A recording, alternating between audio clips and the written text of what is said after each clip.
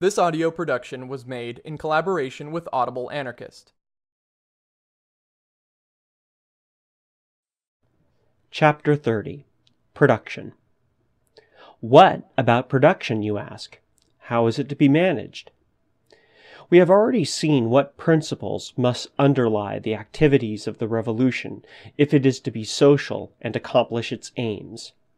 The same principles of freedom and voluntary cooperation must also direct the reorganization of industries. The first effect of the revolution is reduced production. The general strike, which I have forecast as the starting point of the social revolution, itself constitutes a suspension of industry. The workers lay down their tools demonstrate in the streets, and thus temporarily stop production. But life goes on.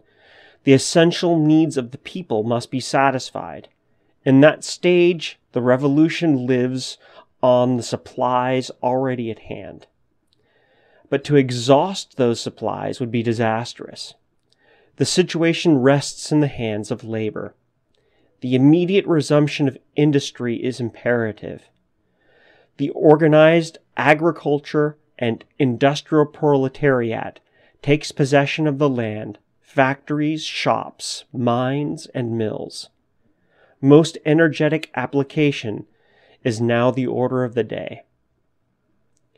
It should be clearly understood that the social revolution necessitates more intensive production than under capitalism in order to supply the needs of the large masses who till then had lived in penury. This greater production can be achieved only by the workers having previously prepared themselves for the new situation. Familiarity with the processes of industry, knowledge of the sources of supply, and determination to succeed will accomplish the task.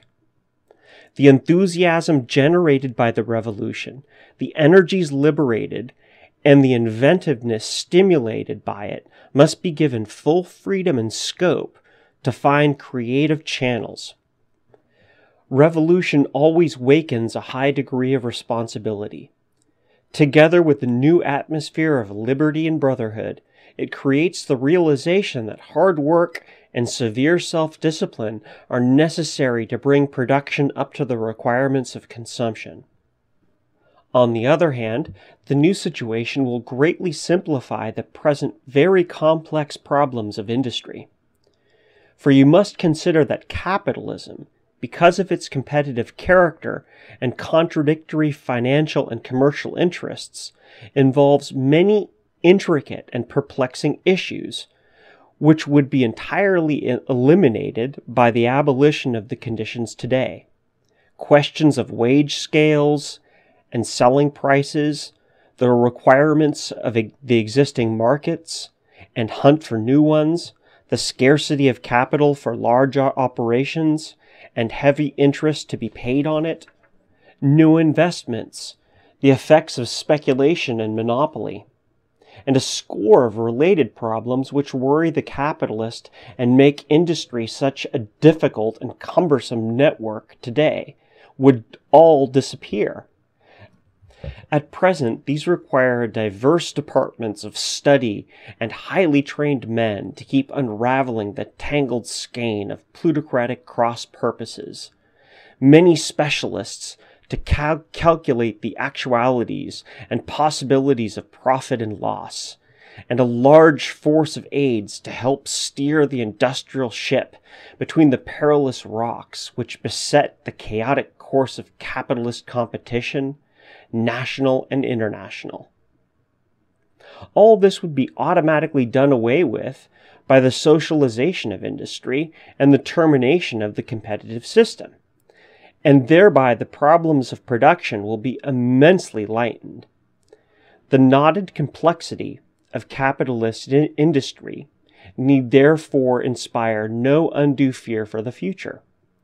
Those who talk of labor not being equal to manage, quote, modern industry fail to take into account the factors referred to above. The industrial labyrinth will turn out to be far less formidable on the day of the social reconstruction. In passing, it may be mentioned that all the other phases of life would also be very much simplified as a result of the indicated changes. Various present day habits, customs, compulsory and unwholesome modes of living would naturally fall into disuse. Furthermore, it must be considered that the task of increased production would be enormously facilitated by the addition to the ranks of labor of vast numbers whom the altered economic conditions will liberate for work. Recent statistics show that in 1920 there were in the United States over 41 million persons of both sexes engaged in gainful occupations out of a total population of over 105 million. Out of those 41 million, only 26 million were actually employed in the industries, including transportation and agriculture. The balance of 15 million consisting mostly of persons engaged in trade of commercial, travelers, advertisers, and other middlemen of the present system. In other words, 15 million people would be released for useful work by a revolution in the United States. A similar situation, proportionate to population, would develop in other countries. The greater production necessitated by the social revolution would therefore have an additional army of many millions of persons at its disposal. The systemic incorporation of those millions into industry and agriculture, aided by modern scientific methods of organization and production, will go a long way toward helping solve the problems of supply. Capitalist production is for profit. More labor is used today to sell things than to produce them. The social revolution reorganizes the industries on the basis of the needs of the populace. Essential needs come first, naturally food, clothing, and shelter. These are the primal requirements of man. The first step in this direction is the ascertaining of the available supply of provisions and other commodities. The labor associations in every city and community take this work in hand for the pu- purpose of equitable distribution. Workers' committees in every street and district assume charge, cooperating with similar committees in the city and state and federating their efforts throughout the country by means of general councils of producers and consumers. Great events and upheavals bring to the fore the most active and energetic elements. Social revolution will crystallize the class conscious labor ranks. By whatever name they will be known as industrial unions, revolutionary syndic- syndicalist bodies, cooperative associations, leagues of producers and consumers. They will represent the most enlightened and advanced part of labor. The organized workers, aware of their aims and how to attain them, it is they who will be the moving spirit of the revolution. With the aid of industrial machinery, and by scientific cultivation of the land, freed from monopoly, the revolution must first supply the elemental wains of society. In farming and gardening, intense cultivation and modern methods have made us practically independent of natural soil quality and climate. To a very considerable extent, man now makes his own soil and his own climate thanks to the achievements of chemistry. Exotic fruits can be raised in the north to be supplied to the warm south, as is being done in France. Science is the wizard who enables man to master all difficulties and overcome all obstacles. The future, liberated from the incubus of the profit system and enriched by the work of those millions of non producers today, holds the greatest welfare for society. That future must be the objective point of the social revolution. Its motto, bread and well being for all. First bread, then well being and luxury. Even luxury. For luxury is a deep felt need of man, and a need of his physical as of his spiritual being. Intense application to this purpose must be the continuous effort of the revolution, not something to be postponed for a distant day, but of immediate practice. The revolution must strive to enable every community to sustain itself, to become materially independent. No country should have to rely on outside help or exploit colonies for its support. That is the way of capitalism. The aim of anarchism, on the contrary, is material independence, not only for the individual, but for every community. This means gradual decentralization instead of centralization. Even under capitalism, we see the decentralization tendency manifest itself in spite of the essentially centralistic character of the present day industrial system. Countries which were before entirely dependent on foreign manufacture, as Germany in the last quarter of the 19th century, later in Italy and Japan, and now in Hungary, Czechoslovakia, etc., are gradually emancipating themselves industrially, working their own natural resources, building their own factories and mills, and attaining economic independence from other lands. International finance does not welcome this development and tries its utmost to retard its progress. Because it is more profitable for the Morgans and Rockefellers to keep such countries as Mexico, China, India, Ireland, or Egypt industrial, industrially backward in order to exploit their natural resources and at the same time be assured of the foreign markets for overproduction at home. The governments of the great financiers and the lords of industry help them secure those foreign natural resources and markets, even at the point of the bayonet. Thus, Great Britain, by force of arms, compels China to permit English opium to poison the Chinese at a good profit and exploits every means to dispose in that country the greater part of its textile pro- products. For the same reason, Egypt, India, Ireland, and other dependencies and colonies are not permitted to develop their home industries. In short, capitalism seeks centralization. But a free country needs decentralization, independence, not only political, but also industrial and economic. Russia strikingly illustrates how imperative economic independence is, particularly to the social revolution.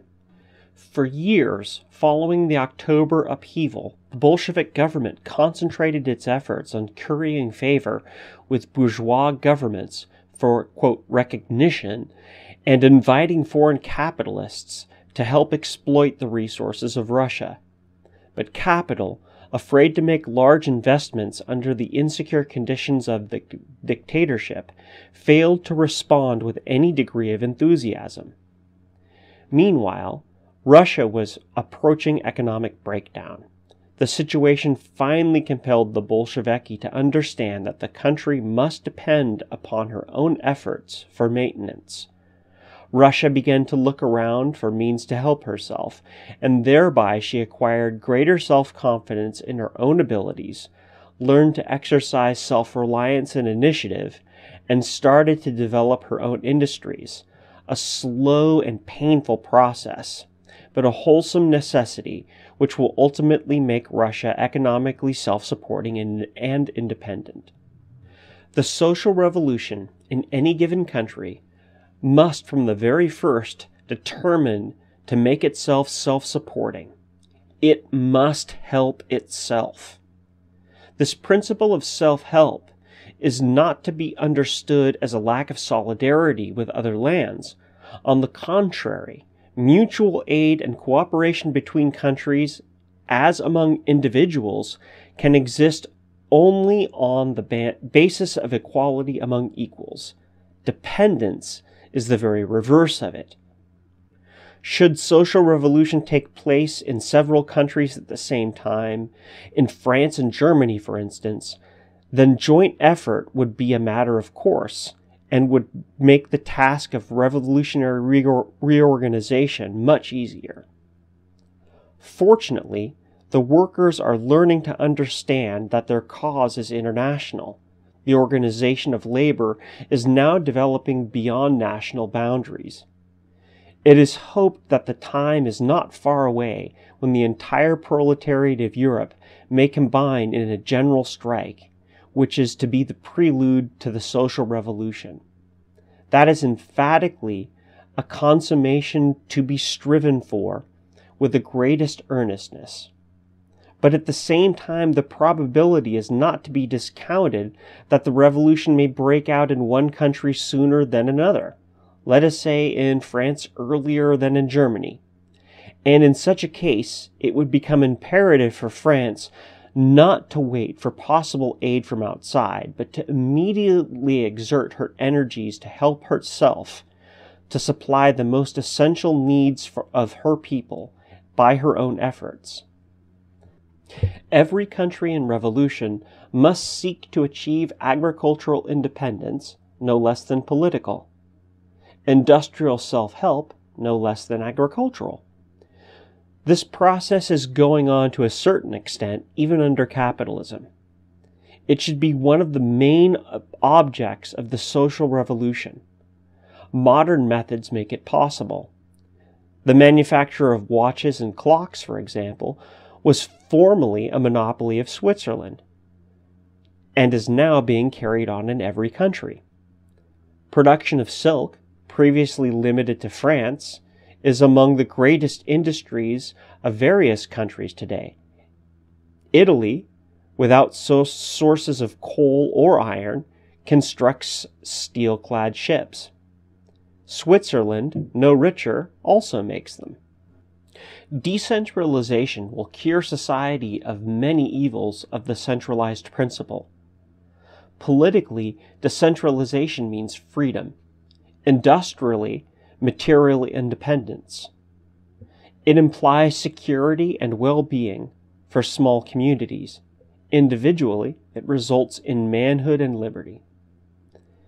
Equally important to the social revolution, as in independence from foreign lands, is decentralization within the country itself.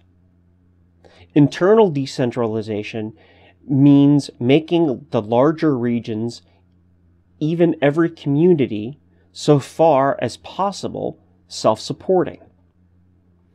In his very illuminating and suggestive work, Fields, Factories, and Workshops, Peter Kropotkin has convincingly shown how a city like Paris, even now almost exclusively commercial, could raise enough food in its own environs to support its population abundantly. By using modern agricultural machinery and intensive cultivation, London and New York could subsist entirely upon the products raised in their own immediate vicinity. It is a face that, quote, our means of obtaining from the soil whatever we wane, under any climate, and upon any soil, have lately been improved at such a rate that we cannot foresee Yet what is the limit of productivity of a few acres of land? The limit vanishes in proportion to our better study of the subject, and every year makes it vanish further and further from our sight. When the social revolution begins in any land, its foreign commerce stops. The importation of raw materials and finished products is suspended. The country may even be blockaded by the bourgeois governments, as was the case with Russia. Thus, the revolution is compelled to become self supporting and provide for its own wains. Even various parts of the same country may have to face such an eventuality. They would have to produce what they need within their own area by their own efforts. Only decentralization could solve this problem. The country would have to reorganize its activities in such a manner as to be able to feed itself.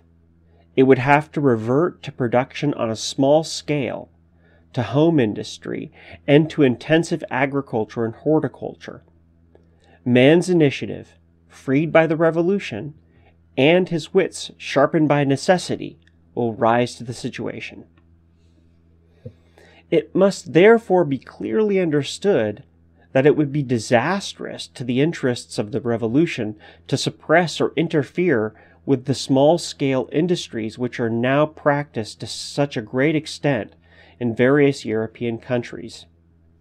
Numerous articles of everyday use are produced by the peasants of continental Europe during their leisure winter hours. Those home manufactures total up tremendous figures to fill a great need. It would be most harmful to the revolution to destroy them, as did Russia so foolishly did in her mad Bolshevik passion for centralization. When a country in revolution is attacked by foreign governments, when it is blockaded and deprived of imports, when its large scale industries threaten to break down, or the railroads actually do break down, then it is just the small home industries which become the vital nerve of economic life. They alone can feed and save the revolution. Moreover, such home industries are not only a potent economic factor, they are also of the greatest social value. They serve to cultivate friendly intercourse between the farm and the city bringing the two into closer, more, more solidaric contact. In face, the home industries themselves are an expression of a most wholesome social spirit which from the earliest times has manifested itself in village gatherings, in communal efforts, in folk dance and song. This normal and healthy tendency, in its various aspects, should be encouraged and stimulated by the revolution for the greater weal of the community.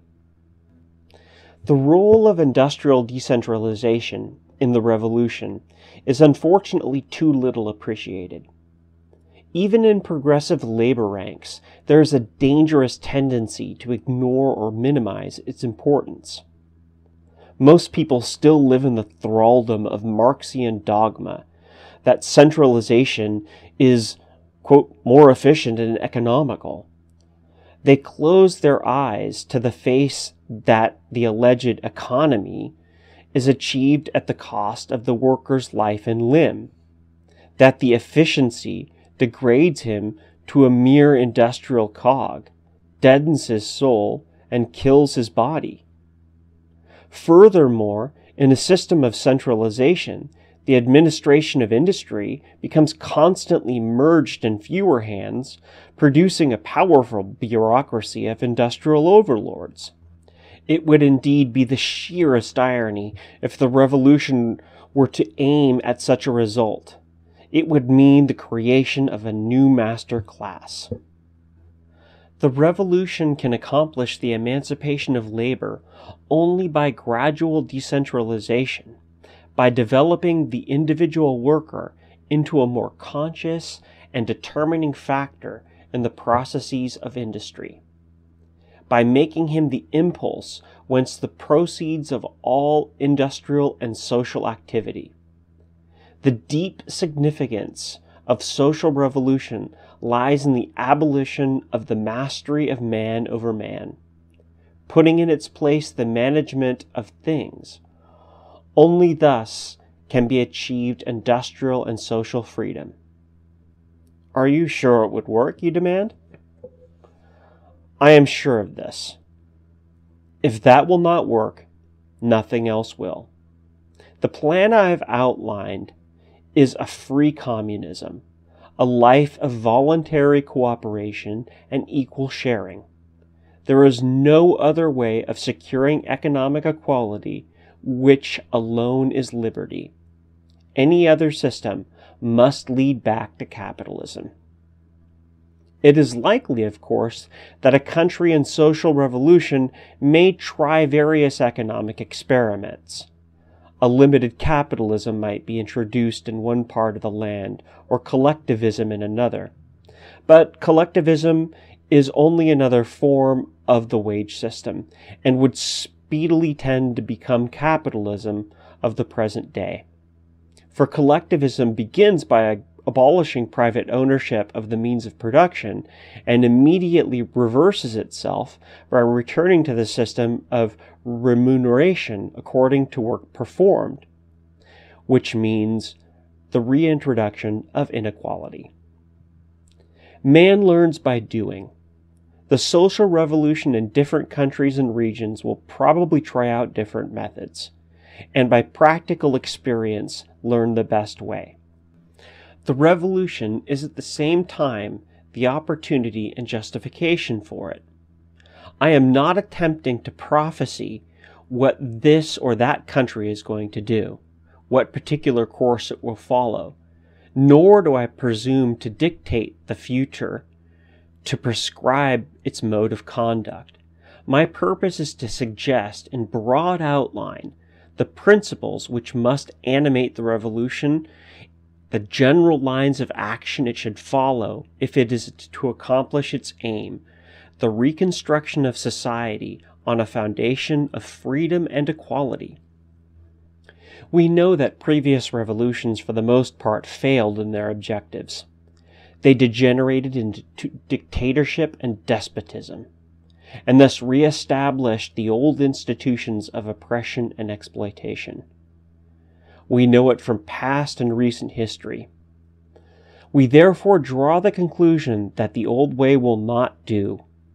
A new one must be tried in the coming social revolution. What new way? The only one that is known to man, the way of liberty and equality, the way of free communism, of anarchy. This has been a production of Audible Anarchist. You can find more Audible Anarchist on YouTube.